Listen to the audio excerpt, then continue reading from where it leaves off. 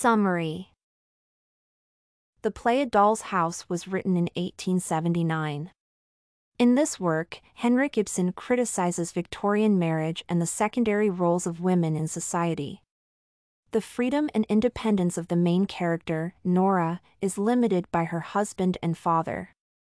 Ibsen skillfully uses settings to reflect and unveil the feelings and thoughts of the main characters.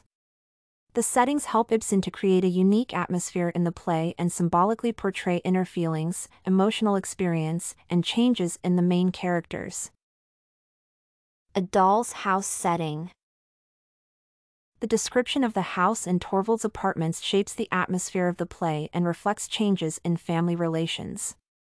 Its description is put at the very beginning of the story, so it is possible to say that Ibsen underlines the significance of this symbol for the entire work and plot development attracting the attention of readers. The family house reflects the life of Nora and her husband Torvald. Certainly, Torvald does understand how to make a house dainty and attractive. Throughout the play, the setting and symbol of a house reflect the inner physiological state of Nora and her life. It seems Nora is comforted by the world around her but despair continues to attack her. Listen, Torvald.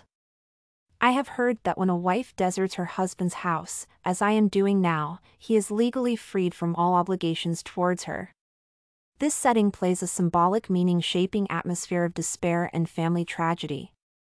The house symbolizes happy family life and close relations between the spouses. Using the setting of a doll's house, Ibsen underlines that Nora's freedom is limited by the setting and the surrounding.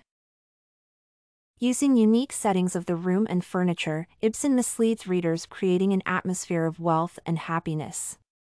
All events take place in one room.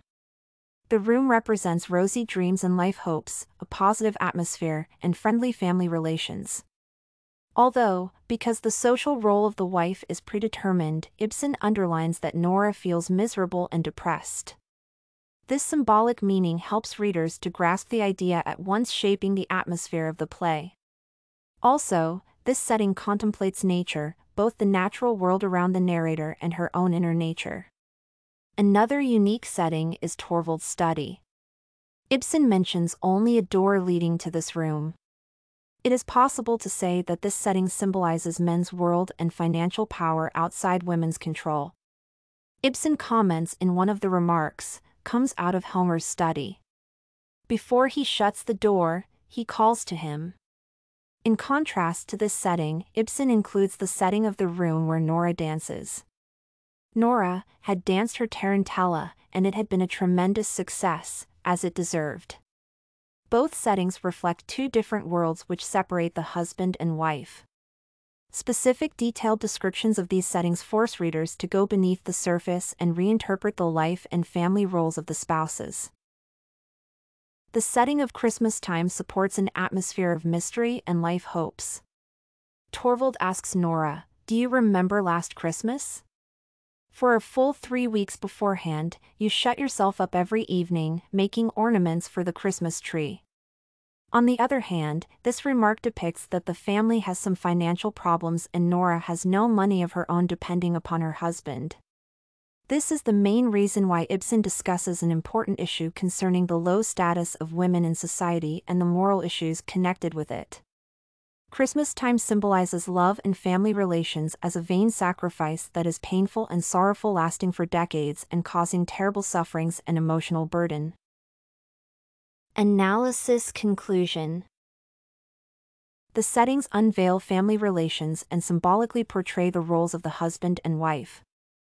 Through the settings, Ibsen records the changes in Nora's nature and her desire to overcome her husband's oppression and become free from him. The settings unveil contractions between old and new values and ideas. You can find this and many other essay samples on our website studycorgi.com.